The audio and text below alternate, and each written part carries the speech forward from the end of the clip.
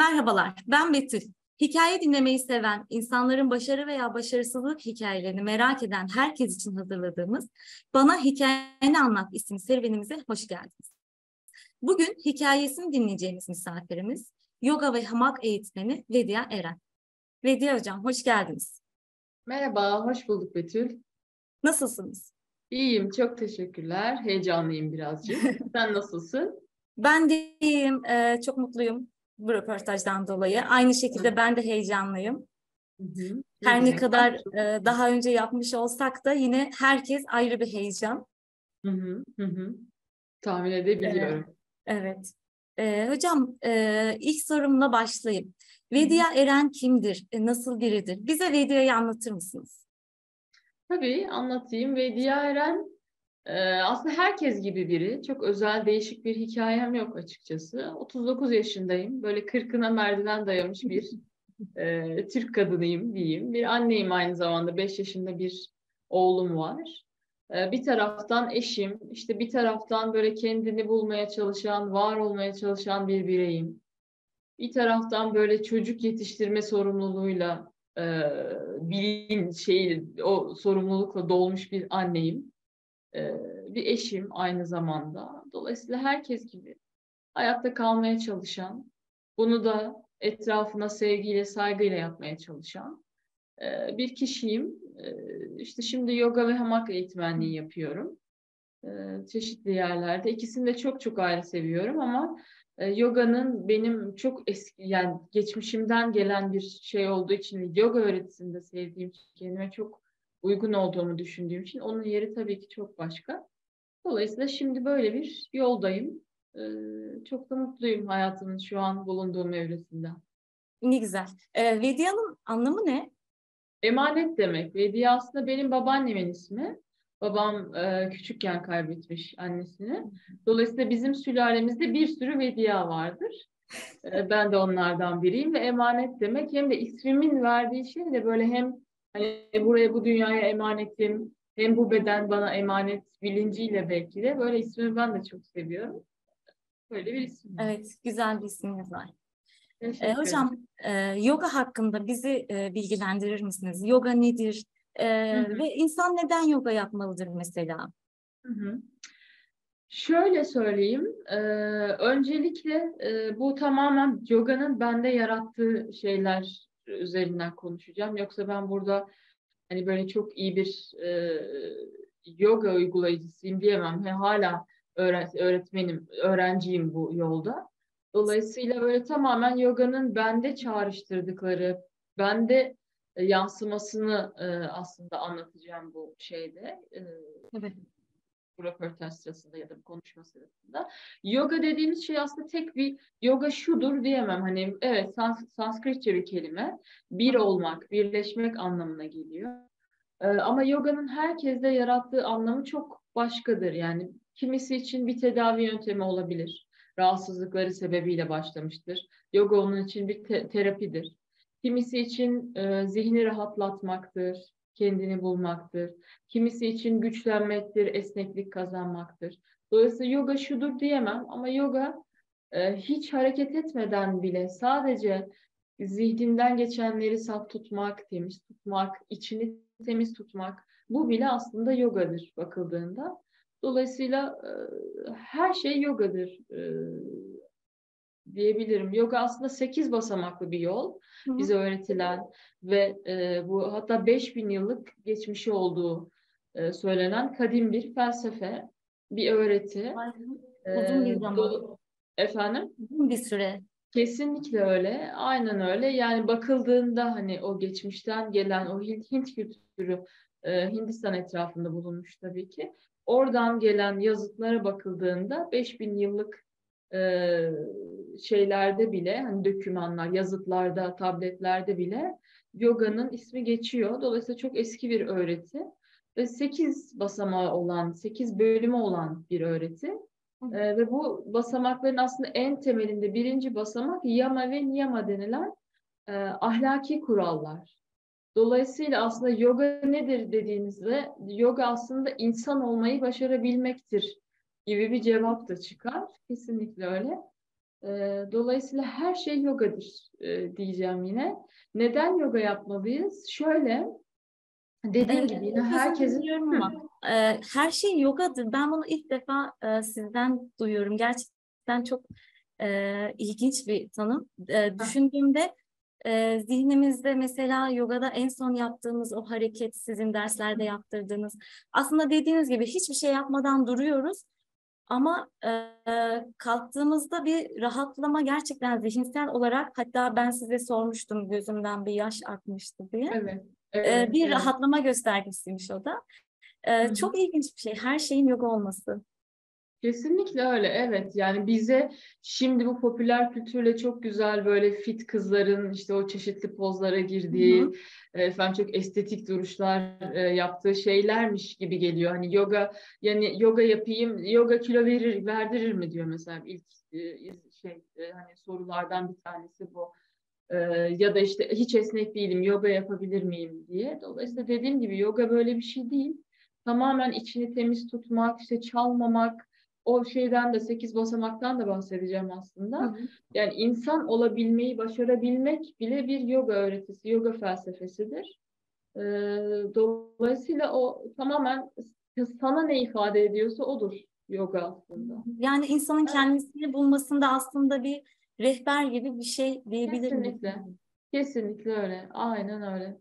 Evet, tam da öyle. Peki insan neden yoga yapsın? Neden yapmalı? Neden yoga yapsın? Şöyle birincisi e, asana biz daha, daha çok şu an yaptığımız hani böyle e, batıdan da gelen e, yoga geleneğinde bakıldığında çoğunlukla asana ağırlıklı çalışıyoruz. Asana dediğimizde duruşlar bu fiziksel duruşlar.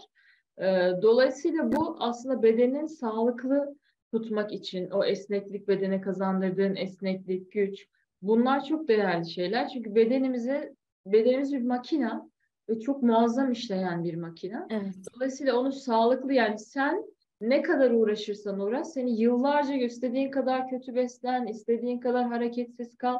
Yine de belirli bir yıl seni çok rahat götürebilen bir makine. Dolayısıyla ona sağlıklı bakmak aslında hepimizin borcu. Yani o bize bir emanet Kesinlikle. çünkü.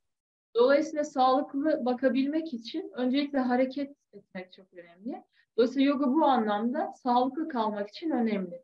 Onun dışında nefes çalışmaları, yine doğru nefes alıp verme, yine kalp damar sağlığı için, işte sinir sistemimiz için, zihni böyle berrak, sakin tutabilmek için çok önemli. Dolayısıyla zihni şu an içinde bulunduğumuz dünya o kadar hızlı o kadar çok fazla uyaran var ve o kadar çok hızlı hareket ediyor ki her şey. Dolayısıyla hepimiz bir durmayı unuttuk. Yani sürekli bir hareket halindesin. Sabah uyanıyorsun, işe yetişmeye çalışıyorsun, çocuğu bırakmaya çalışıyorsun. Oradan çıkıyorsun işte işini yetiştirmeye çalışıyorsun, işin bitiyor.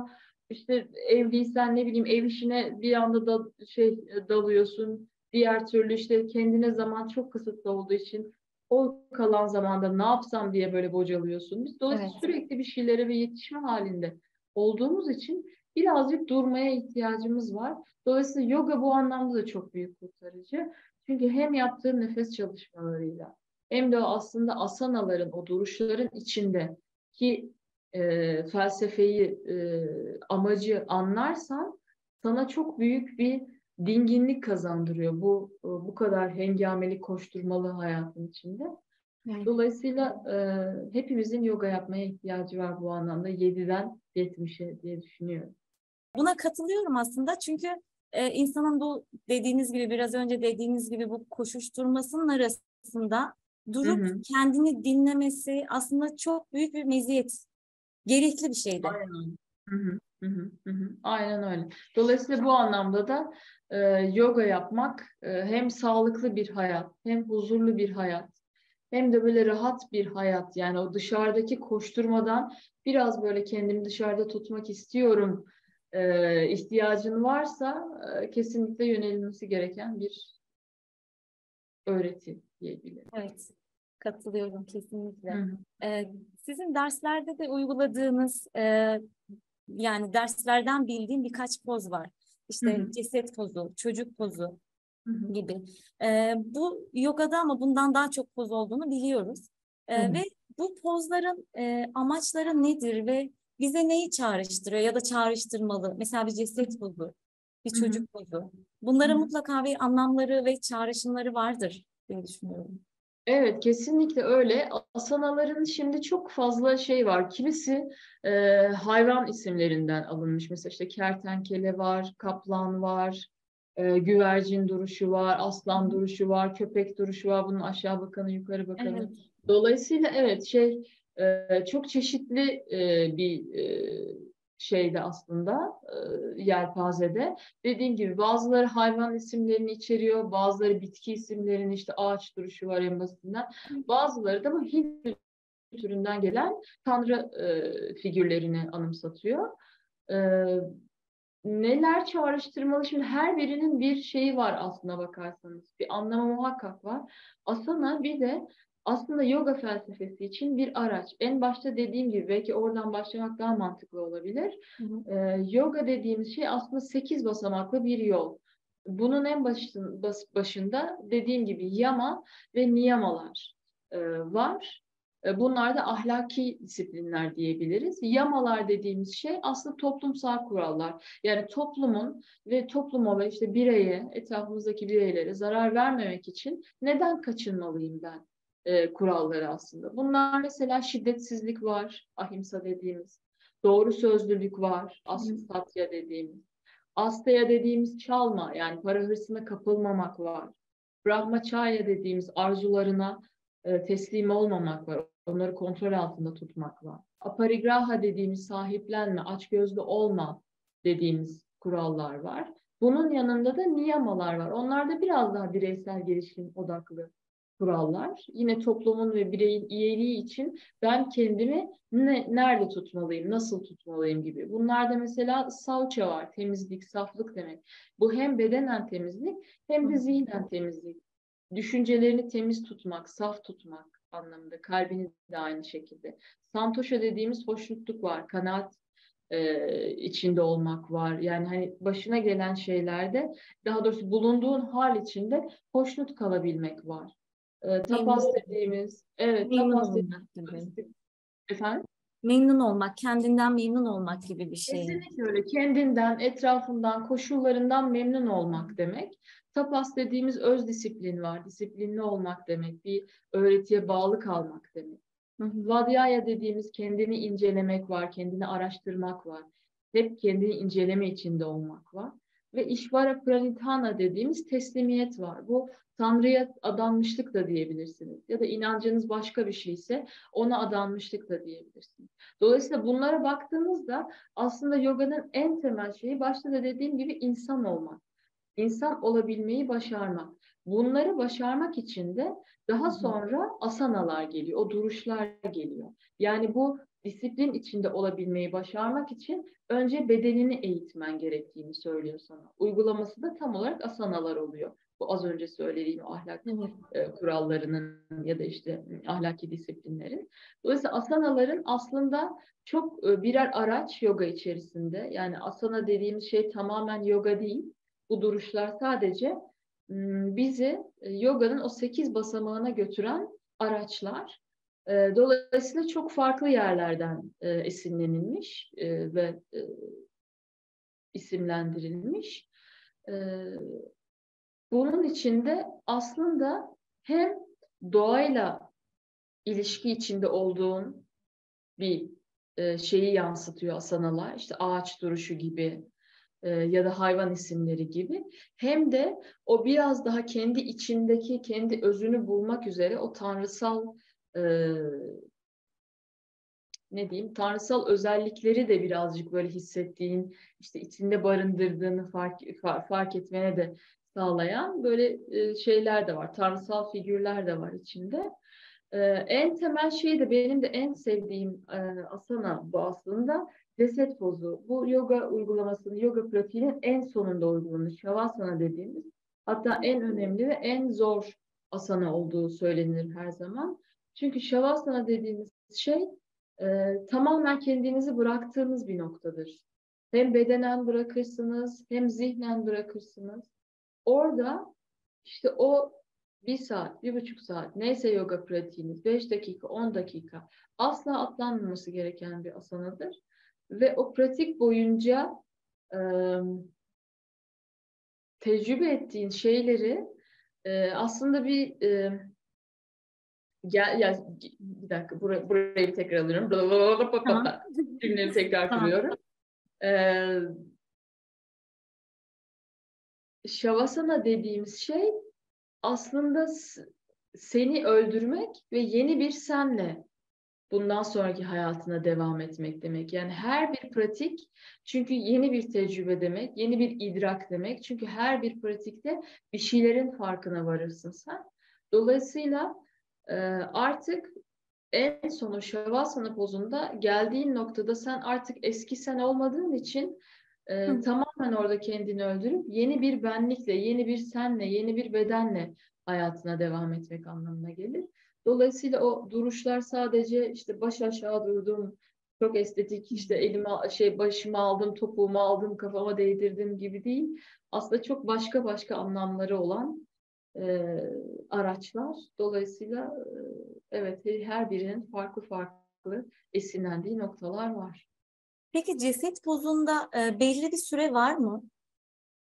Şöyle aslında belirli bir süre yani minimumda bir 7 dakika kalınması söyleniyor. Eğitimlerde de bize bu şekilde öğretildi. Çünkü birazcık da bu sinir sistemini çünkü oraya bir uzanıyorsun. Önce tek tek bir bedenini tarıyorsun tamamen gevşeyip. Evet. Sonra tabii ki hiç yerinde durmayan zihni bir tutmaya çalışıyorsun. Onu bir getirmeye çalışıyorsun. Ondan sonra o şeyi bulduktan sonra hani o gevşemeyi yakaladıktan sonra bir sürede onunla kalmaya çalışıyorsun. Dolayısıyla minimumda bir 7 dakika deniyor ama böyle 10 dakika, 15 dakika hani bazı ben de eğitimlere sürekli katılıyorum çünkü öğrenmeyi çok seviyorum. Katıldığım bazı eğitimlerde de minimum 10 dakika ile 15 dakika arasında kalmanın da çok iyi geldiği söyleniyor. Ama tabii bazı kişilere yani bazı kişileri bir dakika bile tutamıyorsunuz orada. Böyle bir hissediyorsunuz o şeyi çünkü. Bir an önce bitse de bir kalksam ya da hiç yatmak istemeyenler oluyor. Sürekli kıpır kıpır olanlar oluyor. Dolayısıyla şey e, o bazen 7 dakika bile çok uzun gelebiliyor ama minimumda 7 dakika denebilir. Aslında e, bana yani siz belirli saatler arasında yapıyoruz biz mesai saatleri arasında. Evet, evet. Ee, hani siz zaten dersi de diyorsunuz mutlaka kalmaya çalışın. Kesinlikle öyle. Bana az bile geliyor diyebilirim. Yani bir dakika bile durmamak bilmiyorum. Evet işte işte bazı aslında rahatlatıcı bir etkisi var. Kesinlikle ama işte zihni o an durduramadığı için Anladım. çünkü sürekli böyle bir düşünme halinde o an. Dolayısıyla işte orada kalmak onu rahatlatmıyor aslında. İşkence gibi oluyor. Çünkü yapması gereken bir sürü şey var. Ya da kendiyle kalamıyor o an. O kadar çok plan, düşünce var ki kafada. Onları böyle bir dakika şu an sadece gevşemeye, dinlenmeye odaklanıyorum gelemediği için Aha. kişi tam da bu noktada da işte yoga yapmak gerekiyor. Çünkü yoga dediğimiz şey aslında beden ve zihni aynı seviyede tutabilmek, bir tutabilmek. Beden, zihin ve e, ruhu, e, nefesi aynı e, bir, bir, bir, bir tutabilmek onları, birlik oluşturabilmek. E, çünkü zihin dediğiniz şey aslında bedeni yönetiyor. E, nefes dediğiniz şey de hem zihni hem bedeni yönetiyor. Dolayısıyla bunların üçünün aynı düzlemde olması zihni de birazcık rahatlatıyor. Nefes çalışmalarıyla aslında sen zihni de açmış oluyorsun. Zihni de biraz durgunlaştırmış, dinginle, dingin hale getirmiş oluyorsun. Çünkü o sürekli duruyor. Süre, sürekli hareket ediyor. Çok özür dilerim. Hı. Durmuyor. Sürekli hareket ediyor. Sürekli bir düşünce halinde. Ya seni yeriyor ya karşısındakini yeriyor. Ya sürekli sana bir yetersiz hissettiriyor ve plan yaptırıyor bir şey yapıyor. Ama evet. sonra fark edip bir dakika. Şu an sadece durmak istiyorum'a getirdiğinde zihnini zaten bedenin de gevşemiş oluyor. Sen de bir durgunlaşmış oluyorsun. Sen de bir kendini bulmuş oluyorsun. Dolayısıyla e, bu üçünü de bir, bir hale getirip birazcık şöyle bir durmayı öğrenmek için de yoga yapmalı insan diyorum. Evet, e, durmak çok önemli bence de. Hele ki günümüz koşullarında. Kesinlikle öyle. Evet, insanın sadece iki dakika e, durup hiçbir şey düşünmeden, hiçbir e, çevreden gelen uyarıcılara cevap vermeden durması aslında çok zor şu dönemde ama eğer öyle bir alan yaratabiliyorsak kendimize 2-3 dakika bile gerçekten çok farkı oluyor. Kesinlikle öyle. Kesinlikle öyle. Ve bu çok büyük bir farkındalık çalışması. Evet. Yoga'nın bu anlamda da çok büyük etkisi var ve benim aşık olduğum şeylerden de bir tanesi yoga'ya dair çok büyük bir farkındalık çalışması. Çünkü öyle durmayı öğrendiğinde, nefes almanı takip etmeye başladığında, o kadar otomatik çıktığını, o kadar farkındasız yaşadığını bedenine dair, aldığın nefese dair, zihnine dair o kadar fark ediyorsun ki bunu yoga uygulamalarına başladığında. Ya böyle hayretler içinde kalıyorsun bazen. Vay be yani 40 yıldır şunu hiç fark etmemiş olmak mesela sana dair, kendine dair, bedenine dair. Ben mesela gerçekten çok şaşırmıştım ki e, vaktimiz olursa kendime dair de birkaç bilgi vermeyi isterim daha sonrasında ama Çok isterim. ne kadar tabii. farkında ne kadar farkındalıksız bir hayat yaşamışım bu kadar yıldır diye mesela hayret ettim sonrasında kendimi. Yogayı böyle daha uygulamaya başladıkça e, düzenli şekilde daha disiplinli uygulamaya başlayıp daha böyle felsefesini öğrenmeye başladıkça yani insan böyle ne kadar boş geçirilmiş yıllar ya o kadar farkındalıksızsın ki hem kendine dair hem çevreye dair. Dolayısıyla o farkındalığı kazanmak da insana yaşadığını hissettiriyor. Bu çok e, müthiş bir şey. E, yoganın Evet. çok büyük bir kazanımı. Bence o farkındalığı kazanmak hem çok güç, zor ama kazandığınız zaman gerçekten artık hiçbir güç tutamıyor insanı. Kesinlikle öyle. Yani Kesinlikle. kendini gerçekleştirme açısından. Kendine bakışınız, Evet. dünyaya bakışınız değişiyor. Dolayısıyla çok kıymetli olduğunu düşünüyorum. E, açıklamalar için çok teşekkür ederim. Ben e, diğer soruma geçmeden önce şunu da demek istiyorum. Ben e, yogaya e, başlamadan önce yoga hakkında, gerçi başladığımda da o duruşlar olsun, e, esneme hareketleri olsun çok terimsel olarak bilmiyorum ama e, hani böyle anlatacağım.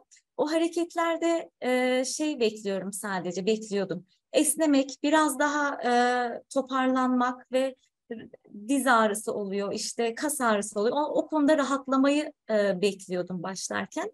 E, hiç yoga deneyimim olmamıştı.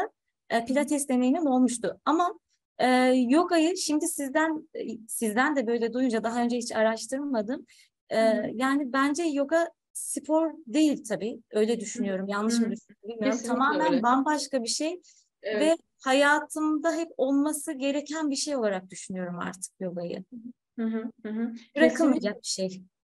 kesinlikle öyle çünkü bu aslında birazcık bir yaşam e, biçimi e, bakılırsa. Yani hem çünkü nefesini doğru nefes kontrolü Evet. öğrenmiş oluyorsun yoga ile. Hem o doğru nefesle zihnini sakinleştirmiş, dingin hale getirmiş oluyorsun. Hem o yaptığın asana pratikleri, duruşlarla, o pozlarla bedenini güçlü hale getirip e, esnek hale getiriyorsun ve şeyi de fark ediyorsun. Bedeninle bir bağ kuruyorsun. Çünkü spor yaparken bunu yapmıyorsun aslında. Evet. Burada tamamen amacın o an güçlenmek oluyor. İşte ne bileyim bir ter atmak oluyor, zayıflamak oluyor. Ee, bu amaçlarla yapıyorsun. Ama yoga dediğin şey öyle olmuyor. Yani asanalara öyle bakmamaya başladığında aslında tam olarak yogayı da anlamaya başlıyorsun diye düşünüyorum. Çünkü bir ben yogaya başladığımda e, hocalarım hep bana şey derdi. Çabasız çaba pozlarda çabasız çabaya ulaşmaya çalış. Ve buna ge- gerçekten çok uzun bir süre anlam veremedim. Yani çabasız çaba nasıl olabilir yani? Orada ben işte sağ elimi koymuşum, sol kol- kolum yukarıda, sağ, sol bacağım yukarıda. Burada çabasız çabaya nasıl ulaşabilirim? Elim ayrı titriyor, bacağım ayrı titriyor, omuzlarım ayrı titriyor. Burada çabasız çabaya nasıl ulaşılır diye. Ama yaptıkça, yaptıkça yani o bedenine dair farkındalığın kazandıkça, güçlendikçe, birazcık daha nefesle kontrollü halde yapabilir oldukça o duruşlarını e, ve kendini sakinleştirebildikçe yani o da orada odanın sadece ya yapamıyorum ya ne kadar titriyorumdan çıktıktan sonra aslında oraya gelebildiğini görünce insanın hem kendine güveni çok artıyor hem de evet ya bu tam ya farklı bir farkındalık kazanıyorsun Evet. orada. Bu bunlar bunlar müthiş şeyler. Onun için aşığım. Yogaya aşığım.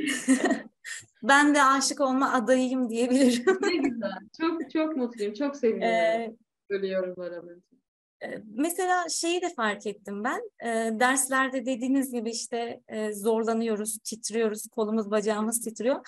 Ama onu e, vücudumuzu yönetmeyi fark edince nefesimizle e, bir bir yere odaklanıp kaldığımızda kendimizi kontrol ettiğimizde aslında ve bir sonraki pozlarda daha kolay olduğunu ben de fark ettim. Bunu hayata uygularsak aslında bir şey ters bir şeyle karşılaştığımızda, bizi zorlayan bir şeyle karşılaştığımızda e, vazgeçmeyip durup bir yolunu bulmayı, onu e, yapmanın e, sakince bir yolunu bulmak bulmakla bağdaştırdım birazcık. Kesinlikle öyle. Çünkü yoga yaptıkça ve o zihni birazcık da olsun durdurabildikçe o işte bir şey oldu diyelim ki çok olumsuz bir koşuldasın şu an ya da hiç hoşlanmadığın bir durumda, olmak istemediğin bir durumdasın. Bir an dur, nefes çalışmalarıyla, bir şöyle sakin nefeslerle zihnini bir dur bir dinlendir, bir şöyle dışarıya çek kendini. O durumun dışına koy birazcık kendini. Orada sakinleştirdiğinde tam da artık bu tip durumlara ya da hayata bakışın ya da bir zorluk karşısında, bir zorluk karşısında bakışın da değişiyor. Duruşun da değişiyor. Dolayısıyla bu da öğretmenlerin e, öğretmenlerimin böyle şeyde hani mat sizin hayatınızın bir küçük kesiti buradaki tutumunuz hayatı çok etkiliyor dediklerinde onda mesela ben çok böyle bir idrak edememiştim, konduramamıştım. Ne ilgisi var demiştim. Ama işte dediğim gibi işin içine girdikçe girdikçe bunu çok net fark ediyorsun. Kesinlikle zihnini esnettikçe birazcık daha kendini sakinleştirebilir hale gelip dışarıdan bakmayı öğrenebildikçe evet. her şeyi çok daha kolay yönetebilir oluyorsun ve daha kolay çabalayabilir hale geliyorsun. Çünkü seni yıldırmıyor artık e, bulunduğun durum. Birazcık dışarıda bakıp sakinleştiğinde zaten doğru çözümü ya da yapman gerekeni bulduğun için e, böyle bir artısı getirisi de oluyor yoganın. E, dolayısıyla gerçekten hayatta çok bağdaşlaş, bağdaştırdığım bir e, evet. uygulama. Ne güzel. Ben de onun onu fark ettiğime çok mutluyum. Hayata evet, bağdaştırmaya başladım. Ne ee, söz konusu, affedersiniz. Ya bir şey demedim, ne güzel dedim. tamam. ee, şimdi söz konusu yoga olunca, e, sizin de bildiğiniz gibi Pilates'te e, bir ikiz kardeş misali hep beraber anılıyorlar. Ama Hı-hı. anlattığınıza göre tamamen farklı olduğunu düşünüyorum. E, Pilates daha çok spor e, yapmak amaçlı olabiliyor ama yoga tamamen farklı. Ee, ben ikisini de deni, denedim. Şu an sizinle yogayı deniyorum. Ee, ama e, bunu dinleyecek olanlar için bize bu yoga ve pilates e, arasındaki hı hı. benzerlikleri veya spiritüel farklılıkları varsa hı hı. bu konuda hı hı. da konuşur musunuz, anlatır mısınız? Pilates e, çıkış noktası itibariyle de birazcık e, tedavi amaçlı uygulandığı için daha sportif e, bir faaliyet e, gibi görüyorum ben. Dediğim gibi bu konuda çok fazla bilgim yok. Nefes alışveriş şekilleri de değişiyor zaten. Ama yoga daha böyle e, şu an her ne kadar uyguladığımız şey daha çok asana bazlı olsa da e, duruş bazlı e, olsa da aslında yoga dediğimiz şey tamamen bir öğreti, daha farklı bir e, kapı açtığı için daha kendini aramaya yönelik bir öğreti olduğu için ikisi aslında çok hani pozlar anlamında benzerlikleri muhakkak vardır. Esneklik, esneklik, esneklik kazandırdığı noktalar anlamında da. Ama temele bakıldığında ikisi çok başka başka şeyler. Yoga çünkü dediğim gibi bir yaşam biçimi denebilir, bir felsefe, bir öğreti denebilir. Daha başka türlü etkileri var insan üstünde. Daha ruha yönelik, zihne yönelik bir uygulama. Evet. Birazcık daha bedensel kalıyor bu anlamda bakıldığında. Evet ama hep böyle alternatif gibi e, evet. söylediliyor. Evet, evet. Çünkü yogayı biz öyle görüyoruz. Yani yoga dediğin şey ya kimilerinin kafasında bütün gün böyle mi oturuyorsun diye dalga geçilen bir şey. Evet. Ya da ya da işte esneklik kazandırmak üzere e, ve o estetik pozların e, denemek üzere yaptığın bir spor türü gibi bakılıyor yogaya.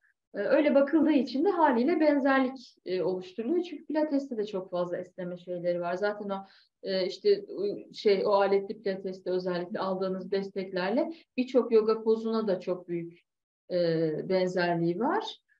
Ama temel olarak bakıldığında bence ikisi çok başka başka şeyler. Öyle gözüküyor hocam. Bence de farklı şeyler. Yani diğerinde pilatesi de denemiş biri olarak söylüyorum. Bence kesinlikle e, zaten çok güzel de açıkladınız. Hı, teşekkür ederim. Tamam. Gelelim son sorumuza Vedi Hocam. Evet. E, herkesin bir hikayesi var biliyoruz. Sizin hikayeniz nedir? Paylaşır mısınız bizimle? Tabii e, memnuniyetle paylaşırım. Belki hatta ilham olması için e, bazı kişilere paylaşmayı çok Aynen. isterim. E, şöyle ben e, yaklaşık 3 yıldır düzenli olarak yoga pratiği yapıyorum. Aslında yoga benim için 10 yıl öncesine dayanan bir e, şey. Baştan alıyorum. Buradan girmeyecektim. Tamam. Buraya sonra geleceğim. E, şöyle ben aslında e, şu an yoga ve hamak eğitmenliğine kurumsal hayatı bırakarak gelmiş bir kişiyim ve şu an özellikle e, içinde bulunduğumuz durumda da birçok kurumsal hayat çalışanının da böyle bir şu işleri bırakıp işte ne bileyim e, köyüme yerleşsem ya da işte şöyle küçük bir sahil kasabasına gidip şöyle bir şey yapsam ya da şöyle bir iş yapsam, pastane açsam, işte yoga eğitmeni olsam, başka bir şey olsam gibi hayalleri var. Evet. O anlamda ben de e, bu tip kişilere belki feyiz olabilmek için anlatmayı isterim. Evet, amacımız o zaten hocam. Hikayenin evet. İnşallah bunu dinleyen insanlara e, katkı sağlarsınız. Umarım. Ve sizin hikayenizi de dinlemek tabii ayrıca çok isteriz. Tamam, çok teşekkür ederim. Ee, ben üniversiteden sonra hemen çalışmaya başladım aslında. Bizim bir e, aile şirketimiz var e, yazılım üzerine. Dolayısıyla ben de hemen orada çalışmaya başlamıştım üniversiteden sonra. Ben iktisat mezunuyum aslında. İşte uzun yıllar orada çalıştım.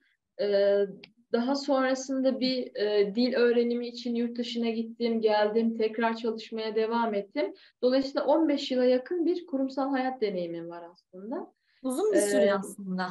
Evet, kesinlikle öyle uzun bir süre. Ee, ama hep böyle bir gönlümde şey vardı benim.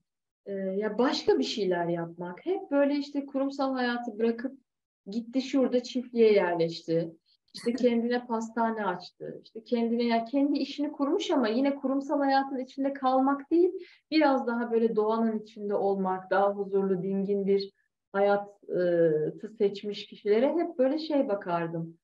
Ya ne kadar güzel bir gün ben de yapabilecek miyim diye hep böyle mutlulukla bir böyle kıskançlık demeyeyim ama ne deniriz ne deriz onun yerine bir böyle gıptayla bakardım. Evet. Ne güzel diye bakardım.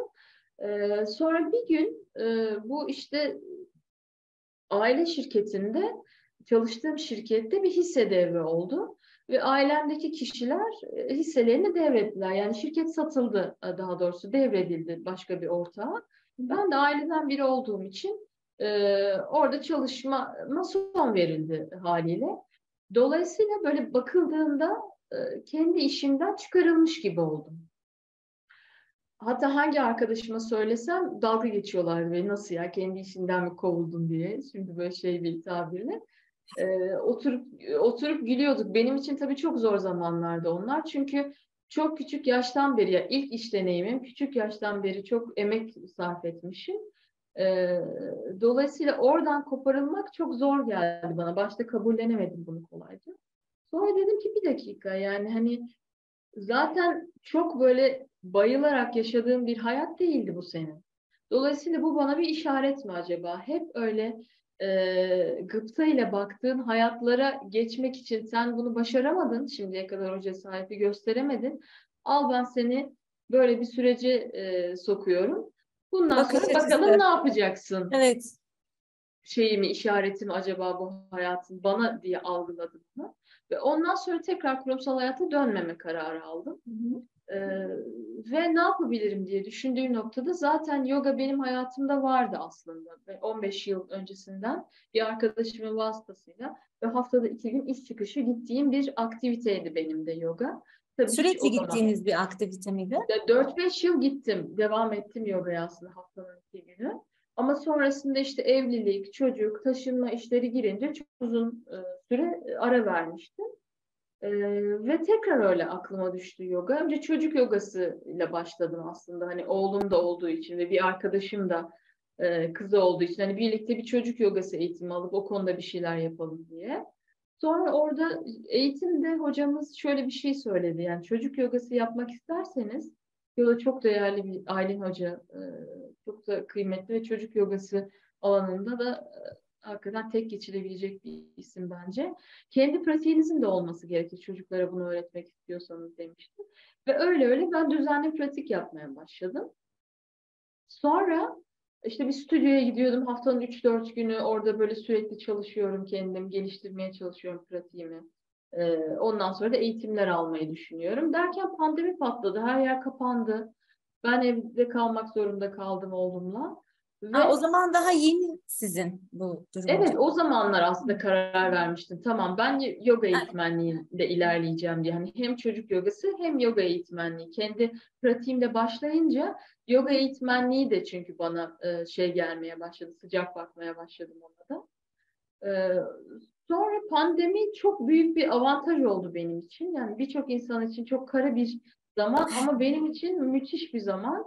Çünkü bütün kaynaklar açılınca online herkese ben evde öğlen oğlumu yatırdıktan sonra her gün pratik yapar oldum o online kaynaklarla. Ders yapıyordum ve pratiğimi böyle böyle böyle böyle geliştirdim. Ve yine pandeminin nimeti olarak e, temel yoga eğitmenlik eğitimi sıkıştırılmış, yoğunlaştırılmış böyle bir aylık yoğun bir programda eğitim buldum. Yoga Kyo'nun eğitimiydi ve bunun için şehir dışına çıkmam gerekiyordu benim bir ay. Ve oğlum daha iki buçuk yaşında e, gider miyim, gidemez miyim ve pandeminin aslında daha yeni yani 6-7 ay olmuş pandemide çıkalı. Hani böyle şey bir zaman, kötü bir zaman. Bir daha yoğun bir zaman. Vefat ettiği, aynen öyle hepimizin çılgınlar gibi maskeyle ya da eve alınan her şeyi çılgınlarca temizleyip dezenfekte edip öyle şehir dışına çıktığınızda kapanma olursa ya dönemezsem korkuların olduğu zamanlar. Kesinlikle tam da o zamanlar ve çok şükür ki bu anlamda kendimi her zaman çok şanslı hissediyorum. Ee, eşime sordum böyle böyle bir şey var katılmak istiyorum diye. Her zaman çok büyük destekçim oldu. Buradan da çok teşekkür ederim bana. İstiyorsan git dedi. Anneme babama sordum çünkü oğlumu onlara bırakmam gerekiyordu. Hı-hı. Bir ay çok uzun bir zaman çünkü eğitim için. Ee, onlar da git dediler ve ve o kadar hazırım ki yani bir kişi bana ya saçmalama şöyle bir süreç var. Herkes kırılıyor hastalıktan. Sen tutmuşsun oraya kalabalığın içine eğitime gidiyorsun deli misin ne işin var orada dese o kadar hazırım yani bırakmaya. Evet doğru çok saçma bir karar böyle bir zamanda diye. ve hiç öyle bir tepki almadım. Herkesten de destek aldım. Ve ben böyle bir çılgınlık yapıp gittim o eğitime. Bir ay boyunca o kadar yoğun bir eğitimdi ki ama müthişti çünkü sabah 8'den akşam 8'e kadar her gün hem asana yapıyoruz hem yoga felsefesi öğreniyorum hem nefes çalışmaları yapıyoruz. Dolayısıyla böyle o benim için farklı bir böyle inziva gibi bir şeydi yani. Hayattan tamamen koptuğum ve tamamen kendimi yogaya adadığım bir zamandı ve bana da çok iyi geldi. Öyle eğitim aldım. Ondan sonra geldim işte Ankara'ya. Küçük küçük böyle etrafıma dersler vermeye başladım. Sonra tesadüfen hamak yogası çıktı karşıma.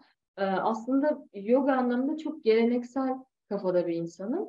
Hamak yogasında çok şey bakmıştı. O ne öyle her şeyi yoga ile birleştiriyorlar. Öyle yoga mı olur? O yoga demek değildir falan bir bakış açısına sahiptim. Ve tesadüfen hayat bunun üstüne hamak yogasını da çıkardı yani ne büyük konuştuğum ne varsa birçok birçoğu geldi başıma aslına bakarsanız. Sonra onu da çok sevdim. Ee, ve onun da eğitmenliğine başladım. İşte ailem, etrafım, arkadaşlarım derken bir iş fırsatı çıktı. Oradan orası, orası, orası derken öyle kendimi bayağı yoga eğitmenliği ve hamak yogası eğitmenliği yaparken buldum. E, şu an geldiğim noktada çok mutluyum. Hem öğrenciyim, daha yolun çok başında bir öğrenciyim. Ee, daha öğreneceğim çok şey var. Ee, bu yolda hem insan olabilmek adına hem yogayı öğretebilmek adına ama bir taraftan da öğrendiğim kadarını öğretmek üzere de çok böyle e, hevesli ve mutluyum. E, Heveslisiniz hocam derslerde görüyorum bu hevesinizi. Fark ediliyor değil mi? evet. Fark ediliyor öğretme aşkım. Kesinlikle evet. fark ediliyor.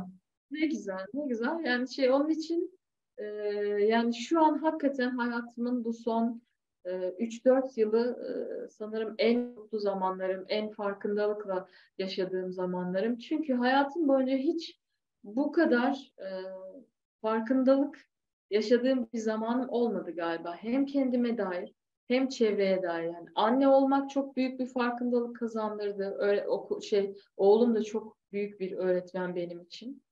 Ee, onun dışında eşim yine aynı şekilde hayatıma girerek çok başka türlü farkındalıklar kazandırdı. Yoga hayatıma girdi. Yani hayat şu an yolumu bulduğumu düşünüyorum ve buraya gelmek için de yoluma çıkan herkes de çok teşekkür ediyorum.